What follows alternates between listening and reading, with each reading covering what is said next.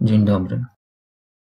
Witam Państwa na kolejnym spotkaniu. W tym filmie chciałbym pokazać możliwości MATLABa, jeżeli chodzi o obliczenia numeryczne związane z poszukiwaniem miejsca zerowego funkcji, czy rozwiązania funkcji inaczej mówiąc, oraz rozwiązania czy rozwiązań układu równy.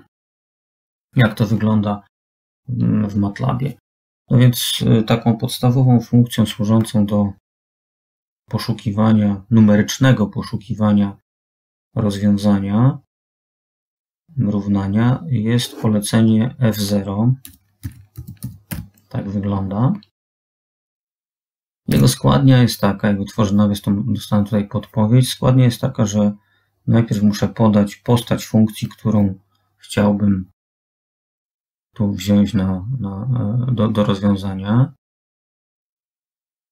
popracować z nią i muszę też po przecinku podać wartość startową zmiennej, dlatego że powtarzam jeszcze raz, to jest procedura numeryczna, więc tutaj poszukiwanie miejsca zerowego nie polega na rozwiązaniu tego równania wedle klasycznych zasad matematyki, a na poszukiwaniu numerycznym, czyli różnymi metodami prób i błędów, mniej lub bardziej skutecznymi.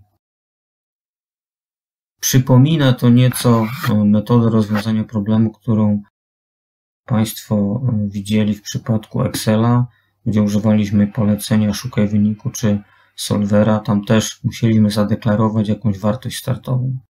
Dobrze, no jak to wygląda w MATLABie? Na przykładzie chciałbym to pokazać.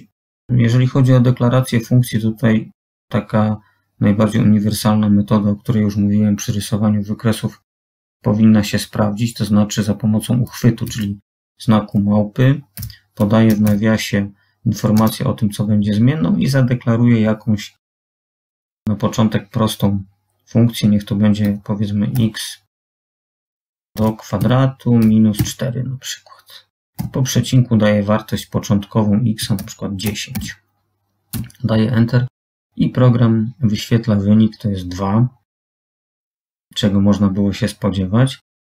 Ale proszę pamiętać, wszyscy Państwo na pewno wiecie, że rozwiązanie tego równania x kwadrat minus 4 to nie jest jedyne rozwiązanie, więc podobnie jak w przypadku szukaj wyniku czy solvera, w zależności od punktu startowego, z którego my zaczniemy poszukiwanie rozwiązania, możemy dostać różne rozwiązania. Więc jeżeli ja zadeklaruję to polecenie w ten sposób, że zamiast wartości startowej 10 podam minus 10, no to dostanę oczywiście drugie rozwiązanie, czyli minus 2. No sprawa jest tutaj oczywista. Zobaczmy, jak to by wyglądało, jeżeli funkcja byłaby bardziej skomplikowana. Ja mam taki przykład f0 Otwieram nawias, małpa od x, zmienną niech będzie znowu x, a funkcja jest taka, x do potęgi trzeciej plus 2 razy sinus z x podniesionego do kwadratu i minus jeszcze 2 razy x. To jest cała funkcja. Sprawdzam, czy się nie pomyliłem. OK. No i zadeklarujmy jakąś wartość początkową, na przykład minus 2. Niech to będzie. Daję Enter, no i mam jakieś tam rozwiązanie. No zobaczmy, czy jak wystartuję z innego punktu, to, to dostanę jakieś inne rozwiązanie. Może z zera wystartuję. No mam inne rozwiązanie, mam, mam 0. Dajmy jeszcze może jakąś inną wartość, na przykład 100. No mam dokładnie takie samo rozwiązanie jak poprzednio. Dajmy na przykład minus 100 no mam jakieś inne. No i teraz, jak Państwo widzicie, no nie ma do końca pewności, ile tak naprawdę rozwiązań jest. Więc tutaj chyba najprostszym rozwiązaniem będzie narysowanie przebiegu zmienności takiej funkcji i dopiero potem jakaś analiza tych wszystkich możliwych przypadków. Zróbmy coś takiego. To ja użyję polecenia fplot, które już Państwu pokazywałem małpa od x i jeszcze raz przepisuję postać funkcji x do, do potęgi trzeciej plus 2 razy sinus x kropką do kwadratu minus 2 razy x. Tak. I po przecinku jeszcze użyję polecenia grid on, które spowoduje dorysowanie siatki na wykresie. On się mi to gdzieś schował. Mam wykres, a i tu przepraszam, bo mam jeszcze jakieś inne. Zamknę to i powtórzę jeszcze raz. Mam jakieś inne rzeczy. Mam wykres, no jak Państwo widzicie, no on ma, przecina tutaj oś x-ową, właśnie w tym punkcie minus 618 prawdopodobnie. Gdzieś tutaj w okolicy zera, czyli to pewnie to 0, nie, to jest równo 0 prawdopodobnie. I trzecie rozwiązanie to jest to 07551, które to program mi zaproponował w ostatnim przypadku. Czyli jak widać, no, najlepsza metoda to prześledzić taką sytuację na wykresie. I dopiero wtedy podjąć decyzję, czy wszystkie rozwiązania możliwe zostały za pomocą polecenia F0 wyliczone. No oczywiście zasada jest taka, że, że musimy umiejętnie korzystać z tego narzędzia i mieć świadomość tego, że, że ono poszukuje rozwiązania najbliższego. Dobrze. Co jeżeli chodzi o, rozwiązywanie układów równań? To tutaj nam pomocna będzie funkcja, która się nazywa fsolve. fsolve. Jeżeli ja ją wpiszę, to znowu muszę tutaj zadeklarować jakąś funkcję i jakąś wartość startową, ale sprawa nie jest tak prosta, jakby się na pierwszy rzut oka wydawało, dlatego że w przypadku polecenia fsolve trzeba obie funkcje, obie, jeżeli mamy układ dwóch równań, jeżeli mamy układ więcej, większej liczby równań, to oczywiście tych, tych równań będzie więcej, ale musimy je w specjalny sposób przedstawić, zadeklarować. Jak Państwo wpiszecie sobie polecenie doc f solve, to wyświetli się informacja o tym, jak zbudowana ta funkcja jest, jak, jak konstruować składnie tej funkcji. I okazuje się, że można rozwiązać układ równań, ale równania muszą być w specjalny sposób skonstruowane, to znaczy po jednej stronie znaku równości musimy mieć postać funkcji, natomiast po drugiej stronie 0. Tu jest taki przykład, najlepiej to na przykładzie właśnie prześledzić. Mamy dwa równania, takie dosyć skomplikowane, zawierające zmienne x1 i x2. No najpierw trzeba przekonwertować równanie do takiej postaci, jak już wspomniałem, czyli całe ciało funkcji jest po lewej stronie na przykład, a po prawej jest 0. Zbudować odpowiedni odpowiednią funkcję, tak jak budowaliśmy funkcje skryptowe, która będzie wyliczała wartości lewych stron równania obu tych równań i je listowała w oparciu o zadeklarowany, zadeklarowany wektor zawierający zmienną x1 i x2 i dopiero wtedy możemy rozwiązać taki układ równań używając polecenia fsolve tak naprawdę. No sprawa nie jest na pierwszy rzut oka taka prosta, ale no myślę, że, że zaraz na przykładzie Państwu pokażę. Ja mam tutaj taki przykładowy układ równań dosyć prosty. Mam, że x1 to jest 2, x2 do kwadratu minus 6 i x1 to jest 3x kwadrat plus 5. No więc jeżeli chcemy użyć polecenia fsolve, to musimy to, to równanie przekształcić do takiego zapisu, czyli przenosimy wszystko na lewą stronę, a zera zostawiamy po prawej.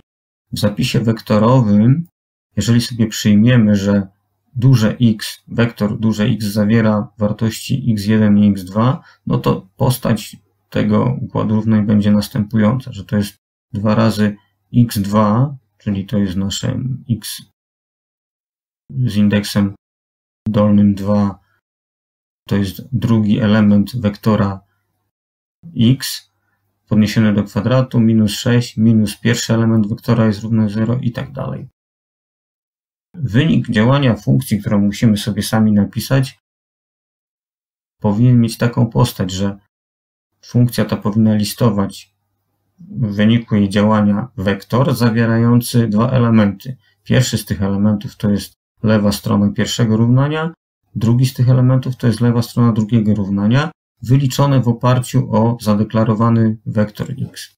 No i od tego niestety trzeba pracę w MATLABie zacząć, więc ja pokażę jak to zrobić.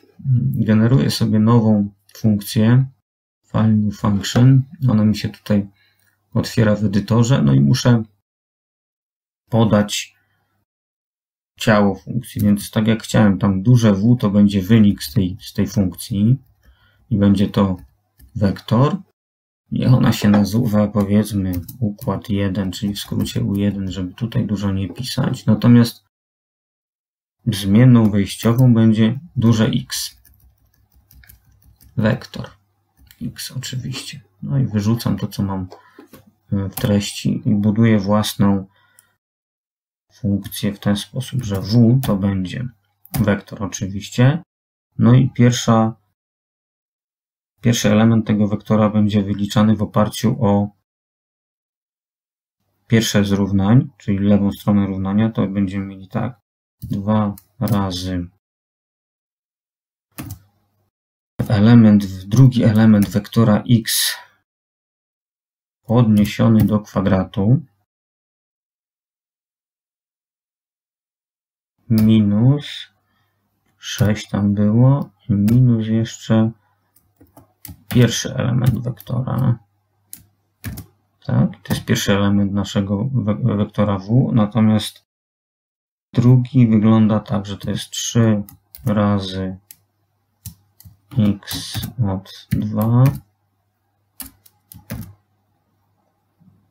tak plus 5 tam było minus x1.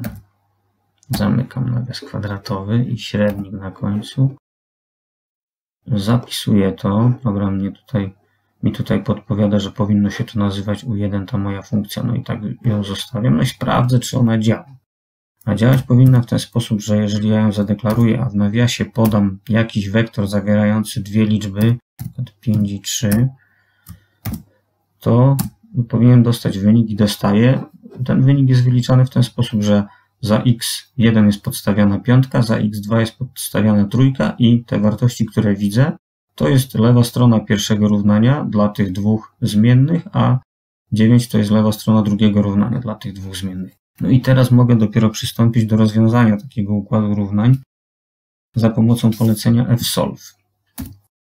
Przy czym polecenie fsolve działa jeszcze w ten sposób, że oprócz wyniku, który mnie interesuje, czyli wektora spełniającego układ równań, wektora wartości x1 i x2, wygeneruje mi również wartość błędu, dlatego że procedura fsolve nie jest procedurą działającą w sposób klasyczny, czyli nie rozwiązuje stosując różne metody matematyki klasycznej, tylko tak naprawdę no, metodą prób i błędów poszukuje rozwiązania.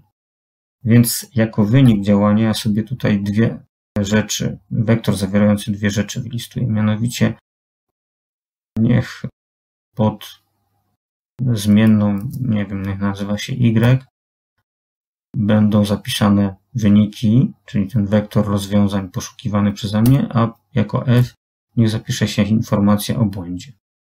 I zapisuję, że jest to równe poleceniu f solve. I teraz tak, małpa u 1 to jest moja funkcja, która mi generuje te lewe strony równania i muszę jeszcze zadeklarować oczywiście wektor startowy. No niech to będzie na przykład 1 i 1. Czyli za x1 podstawiam 1 i za x2 też podstawiam 1. No i spróbujmy. No mamy jakieś tam rozwiązanie. Program za, zaproponował, że, że mam takie rozwiązanie. x1 to jest 14 tam z groszami, a x2 to jest 3 z groszami i taki błąd dla takiego, dla takiej pary rozwiązań e, się powinien pokazać. No, tak naprawdę to nie wiem, czy, czy to rozwiązanie jest słuszne, czy nie. No, najlepiej byłoby sprawdzić to znowu w ten sposób, że no, narysować sobie obie funkcje i zobaczyć, na ile to rozwiązanie jest sensowne. Więc mo mogę użyć polecenia znowu f plot małpa od x. No i zadeklaruję jedną i drugą funkcję. Pierwsza to była taka 2 razy x z kropką do kwadratu minus 6 to było. Natomiast druga to była taka, że to było. Ja przepraszam, bo tu muszę tak zamknąć nawias. Dać jeszcze hold on, tak? I teraz druga funkcja f plot małpa od x i druga była 3 razy x plus 5. Takie coś to było. Oczywiście ja tutaj jako x traktuję tą zmienną x2, a x1 to jest tak jakby y. Muszę to przekonwertować, żeby fplot mi zadziałał. Zamknę nawias, jeszcze grid on włączymy. Dobrze, daję enter, no i mam obie funkcje. No i tutaj jak się przyjrzymy, to no, dwa rozwiązania oczywiście są tego układu równań. Pierwsze rozwiązanie to w okolicach gdzieś minus 1 dla x równego minus 1 coś tam i y równego 0. Natomiast ja mam rozwiązanie, chyba ono mi się tu ciągle wyświetla, to jest to drugie, czyli y to jest jakieś około niecałe 15, czyli 14,6, a x to jest 3 z kawałkiem. No i to jest to, to rozwiązanie, jak widzicie Państwo, drugie. Natomiast, no, żeby dostać to pierwsze, to znowu dobrze by było wystartować z okolic tego rozwiązania, czyli na przykład, no, dajmy, nie wiem, minus 1 dla x i może minus 1 dla y. Zobaczymy, jak program zareaguje. Dobrze, to ja przywołuję to polecenie i zmieniam wartości startowe na minus 1 i minus 1. Daję Enter. No i mam tym razem takie rozwiązanie, że y to jest minus 0, 3, 1, 3, 6, 6, a x to jest, przepraszam, odwrotnie, x to jest minus 1, 0, 1, 3, 6, 6, a y to jest minus 1, 7 i tak dalej. No przyjrzyjmy się, jak to wygląda na wykresie. No prawdopodobnie jest to dobre rozwiązanie. Możemy za pomocą kółeczka na myszy powiększyć sobie wykres. No jak tu się zbliżymy, to rzeczywiście no jesteśmy bardzo blisko i to właśnie wygląda na to, że to jest to nasze rozwiązanie. Więc w ten sposób można, można układ równań dowolnych, nieliniowych równań rozwiązać używając polecenia fsolve. Dobrze, dziękuję. To tyle na tym filmie. Dziękuję za uwagę.